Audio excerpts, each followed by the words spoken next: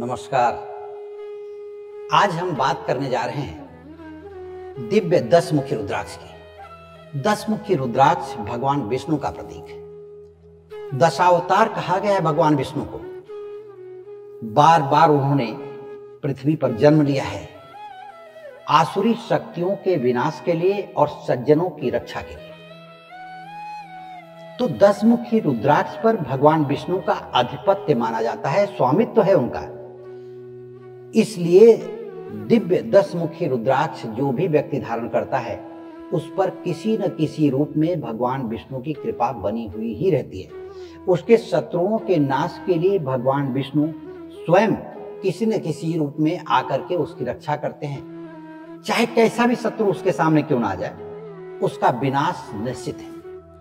वह अपने शत्रु के बारे में अगर सोच ले तो शत्रु उसका तत्काल नतमस्तक होगा या उसके सामने से हट जाएगा।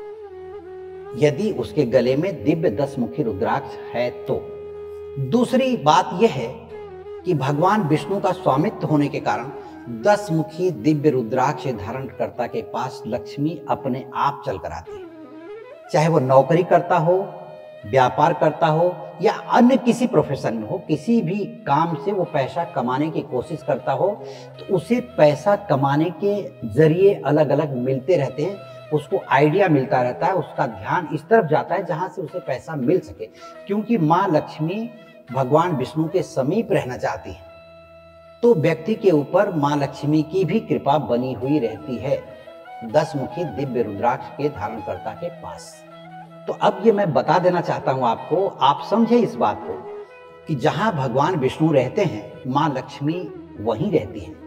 तो दस मुखी दिव्य रुद्राक्ष के धारणकर्ता के ऊपर भगवान विष्णु की कृपा जब होगी तो माँ लक्ष्मी की कृपा अपने आप होती ही जाएगी। और व्यक्ति को चौतरफा, चारों तरफ़ से धन आगमन के रास्ते मिलते जाएँगे उसका अगर कर्ज होगा तो मिटता चला जाएगा।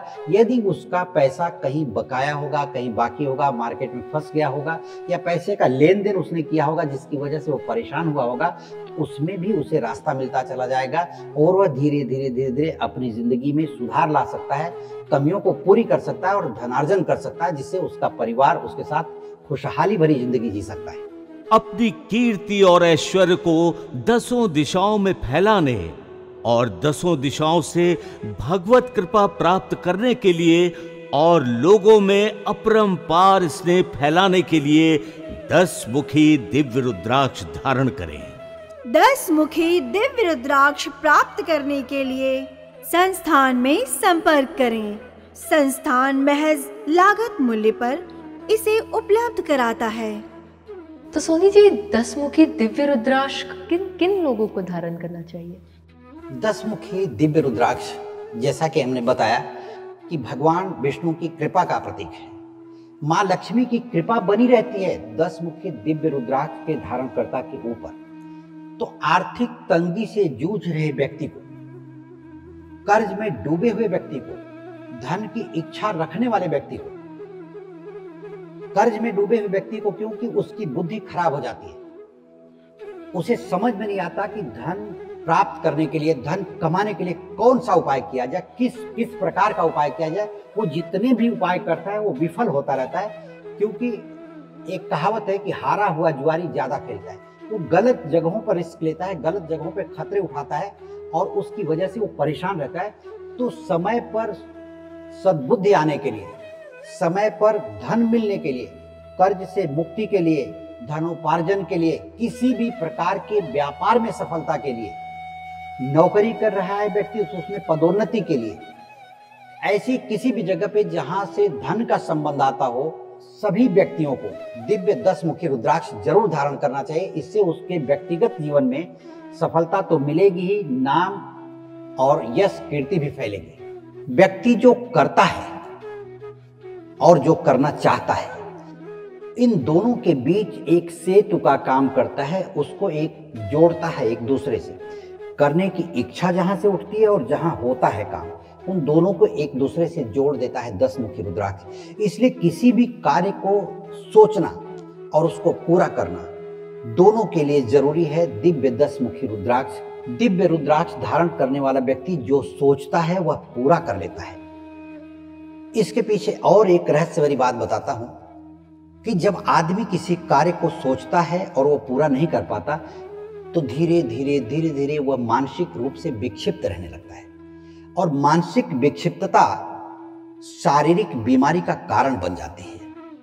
और ऐसे में उसके परिवार के लोग सोचते हैं कि हमारे घर के मुखिया को, हमारे घर के देखने वाले को क्या ऐसी क्या बात हो गई जिसके कारण वो परेशान रहने लगा है और इसका कारण किसी को समझ में नहीं आता। और कारण यही है कि करना कुछ चाहता है, होता कुछ है। करने कहीं कुछ गया था, सुबह निकलता है आदमी किसी काम से, शाम तक पहुँचता है किसी काम को करके। इसके बीच की जो कड़ी है, उसको जोड़ने का काम दिव्य दस मुखी रुद्राक्ष बहुत ही अच्छे तरीके से करता है, जिससे कि व्यक्ति के जीवन में किसी भी प्रकार की परेशानी हो, चाहे वो आर्थिक हो, मानसिक हो, पारिवारिक हो, वो दूर होती है और व्यक्ति अपनी ज़िंदगी को खुशहाल बना लेता है और एक दिशा में चल पड़ता है। और कहते हैं कि जब आदमी को दिशा मिल जाती है तो उसकी दशा धीरे धीरे संभल जाती है और जीवन में एक चरम उत्कर्ष पर पहुँचता है और उसकी दुनिया बड़ी ही आसान हो जाती है। वो ज़िंदगी को आसानी से जीने लगता है। अपनी कीर्ति और ऐश्वर्य को दसों दिशाओं में फैलाने और दसों दिशाओं से भगवत कृपा प्राप्त करने के लिए और लोगों में अपरंपार स्नेह फैलाने के लिए दस मुखी दिव्य रुद्राक्ष धारण करें। दस मुखी दिव्य रुद्राक्ष प्राप्त करने के लिए संस्थान में संपर्क करें। संस्थान महज लागत मूल्य पर इसे उपलब्ध कराता है।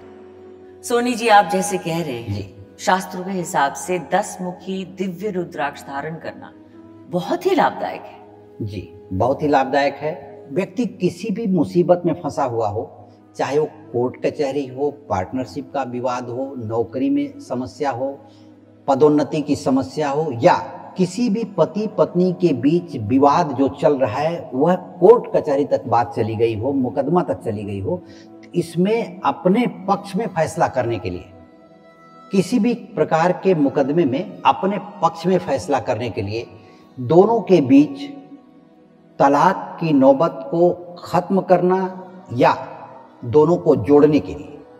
किसी भी उद्देश्य को लेकर के आप दिव्य दस मुखी रुद्राक्ष धारण कर सकते हैं, क्योंकि माता लक्ष्मी भी इसका प्रतीक हैं और किसी भी व्यक्ति की जब उलझने बढ़ती हैं, आपको मैं बताऊँ कि विवाद तीन बातों को लेकर के होता है। पहले से कहा जा रहा है जर, जोरू और ज़मीन।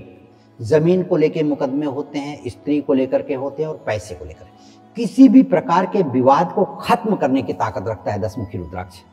और ऐसे में जब व्यक्ति दिव्य दसमुखी रुद्राक्ष धारण करता है तो उसके ऊपर भगवान विष्णु और माता लक्ष्मी की कृपा और उसको सद्बुद्धि मिलती है कि वह किस दिशा में जाए।